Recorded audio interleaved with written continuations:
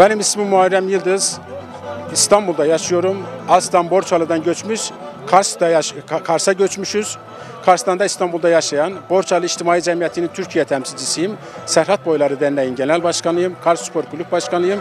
Bengü Türk TV'nin de sahibiyim. Ee, Bugünkü e, yəni e, Gürcüstan hökumətinin yarattığı problemlərlə bağlı nə deyə bilərsiniz?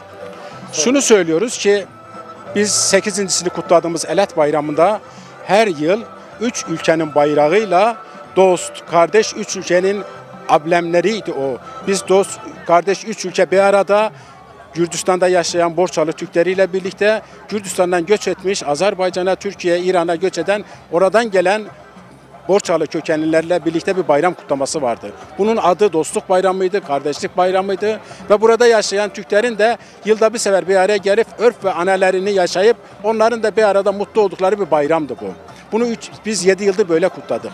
Ama bu yıl bugün sabah değil dün itibariyle burada Türk bayrağının asılmayacağını, İstiklal Marşı'nın okunmayacağını ve Borçalı İçtimai Cemiyeti'nin Borçalı ambleminin de olmaması gerektiğini söylediler. Elat ismiyle değil de Dumanisi ismiyle değiştiğini söylediler. Biz de itiraz ettik. Dedi ki bunun adı Borçalı Türkleri olduğuna göre adını da Elat koymuşuz. Elat bayramı olarak sadece buradakiler değil, Türkiye'den, yurt dışından ne kadar insan varsa Elat Bayramı diye geliyor. Dumanisi bayram olarak gelmedi. Eğer Dumanisi olarak kutlamak istiyorsanız başka bir tarihe, başka bir gün yapabilirsiniz. Ama bizim kutladığımız tarihte bizim insanlarımız Elat diye geldiği bir toplantıya siz oraya cebirle, zorla, kendi devlet gücünüzü kullanarak Dumanisi bayramı diye pankart asıp ve üç tane ülkenin bayrağı yerine tek kendi bayraklarınızı asarak bunu kınıyoruz. Çünkü bu hakarettir.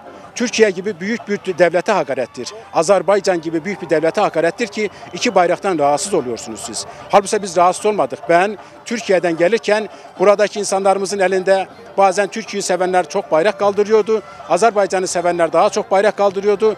Gürcistan'ın bayrağı az oluyordu diye biz üç tane bayrağı tek bir bayrakta topladık ve buraya getirdik insanlara dağıttık. Biz bu düşüncedeyiz. Bizim için Türkiye, Azerbaycan ve Gürcistan kardeş ve çünkü burada yaşayan insanlarımız bizim kardeşlerimiz, akrabalarımız ve bunlardan dolayı biz Azerbaycan'ı ve Gürcistan'ı önemsiyoruz ve her zaman da yanlarında olmuşuz.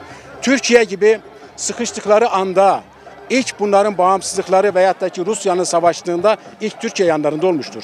Buradan diyoruz ki Gürcistan Devlet Başkanı'na, Cumhurbaşkanı'na, Başbakanı'na senin bir belediye, Dumanisi Belediye Başkanı'nın Türkiye'ye, Türk milletine, bayrağına ve İstiklal Marşı'na hakaret etmeye hakkı, haddi nereden almıştır? Ya bunun gereğini yapın ya da biz geri döndüğümüzde Türkiye'de Cumhurbaşkanımıza, Başbakanımıza ve bakanlığa sunacağız. Bunu mutlaka devletler arası duruma taşıyacağız. Bu saygısızlığı kabul edemeyiz.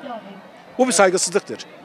Bu e, kıskan, kıskançlıq ola bilərmi? Yəni Türklərin birliyinin e, kıskanmaq, e, yəni Gürcüstan hökuməti olaraq Türklərin birliyini kıskanmaq kimi anlamına gələ bilərmi? Kıskanabilirler. Bakın zaten son 6 aydır ki kurulan burada içtimai cemiyetini dağıtmak adına hem içte Borçalı kökenli kendini Borçalı diye adlandıran, kendine şair diyen, okumuş diyen, alim diyen insanları da fitneyle, fesatla bu Borçalı içtimai cemiyetini dağıtmakla alakalı bir sürü plan ve programlar oldu gördük.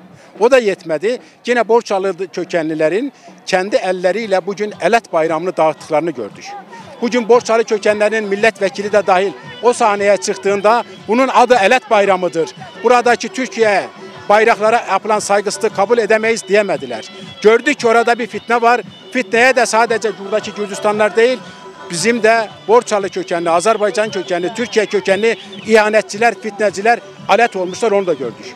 Bu kıskançlıkla alakalı değil, bu cemiyeti dağıtmak istiyorlar ki, eleti dağıtmak istiyorlar ki burada tedirginler. Neden tedirginler bilmiyoruz. Halbuki biz burada Karapapak Türkleri asırlar boyudur Gürcistan'ın her zaman yanında olmuştur. Karapapak Türkleri gittikleri bölgelerde Türkiye'de olsun, İran'da olsun devletine, milletine, bayrağına sahip olmuşlardır. Savaşlarda da en önde olmuşlardır o topraklar adına. Onun için buradaki Azerbaycan Türklerinin, buradaki Türkiye'den gelen Türklerin, Borçalı Türklerin bir araya gelmelerinden rahatsızlıkları ne olabilir anlamış değiliz.